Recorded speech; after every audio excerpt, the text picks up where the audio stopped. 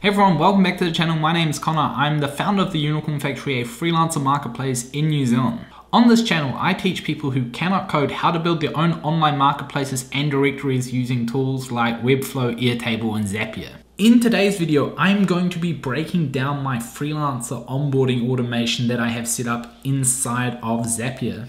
If you're new to this channel and you want to learn how to build your own marketplace with Webflow, Airtable, and Zapier, then please subscribe to the channel. I'll be sharing regular videos on how to set up your own workflows and automations. I'll give you a behind the scenes tour of what I'm doing with the Unicorn Factory, and hopefully that will get you up and running. But without further ado, let's dive into the video. Cool, so the freelancer onboarding process breaks down into three steps. Step number one is when a freelancer applies. What do I do? What automation is triggered? Step number two is what happens when I approve them? What does the process look on my end and what kind of automation happens in the background? And then lastly, I'm going to show you how I announce to the world that a new freelancer has joined. So let's check out step number one.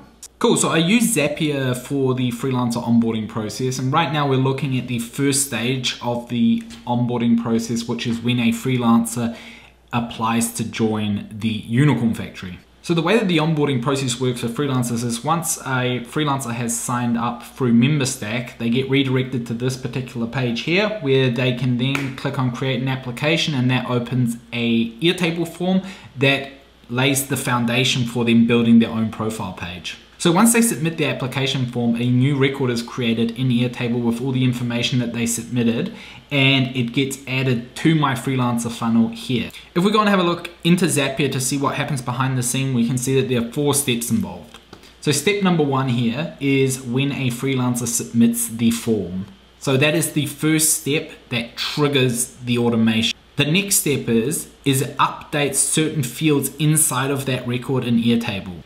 Now the fields that it updates in Airtable is the needs review status and a few little other pieces here.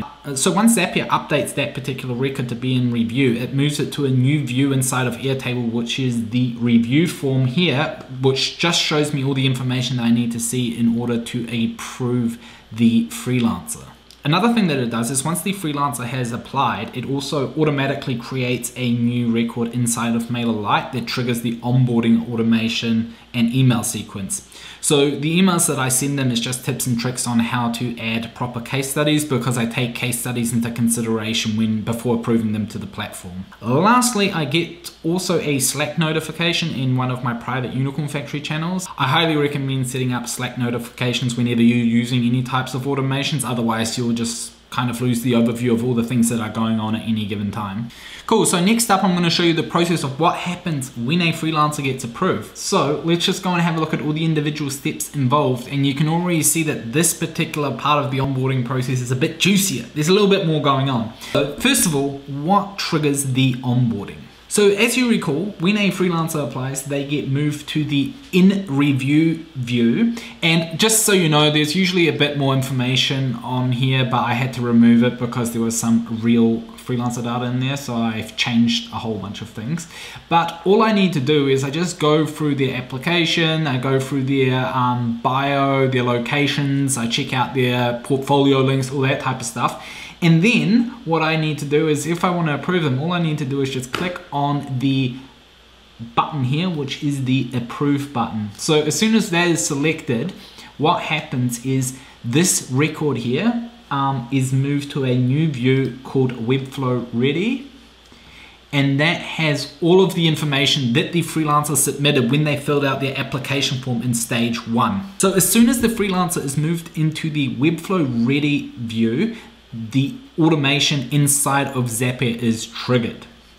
So the first step that happens is there is a text conversion. So if we go and have a look at what you can do inside of the Airtable form is you can add um, Markdown.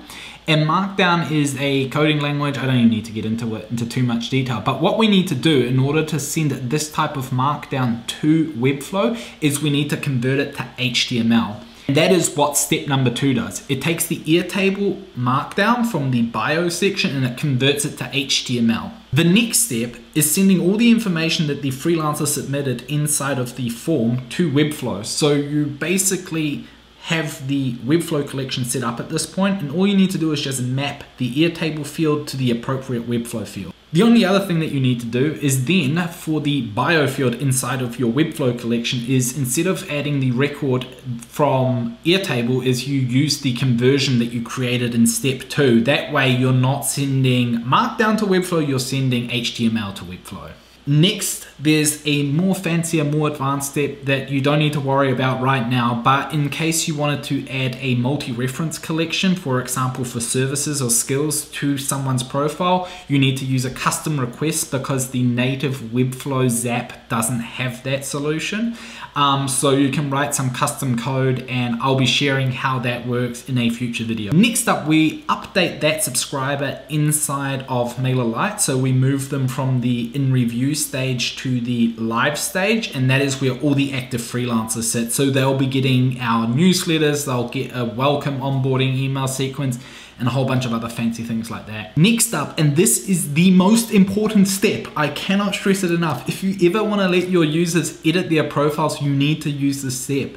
You need to update the Airtable record with the Webflow item ID and collection ID that was created in step three. Because later on, when you want your users to edit a profile page inside of Webflow, you can use the update item feature, but you'll need the Webflow item ID and you need to store it somewhere and we store it inside of Airtable.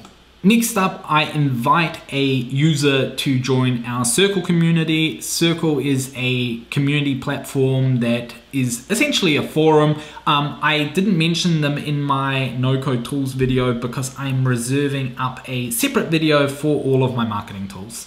And then last but not least, I update some links inside of MemberStack. So one thing that I send to MemberStack is the updated link to their profile so that when they then jump into the dashboard, there's a link where they can view their profile page and I need to update that in MemberStack in order to allow them to do that. So before we dive into the final step, I just wanted to remind you that this, what I'm showing you right now, is what it looks like after three years. That is not where I started and that is definitely not where you should start. When I started setting up the freelancer onboarding zap, it was so simple that it was simply a freelancer applies and I just send what I could send to Webflow. There were no custom requests, there's no MailerLite or any of that stuff. So the key thing to keep in mind when you're setting up these automations is just to do what's necessary and just skip all the fancy stuff unless you really, really need them. Cool, and so the last step of the freelancer onboarding process is triggered by when a freelancer is moved from the needs review stage to active profile stage. So I actually forgot to mention that in the previous step when I said that it's important to update the item ID inside of the Airtable record.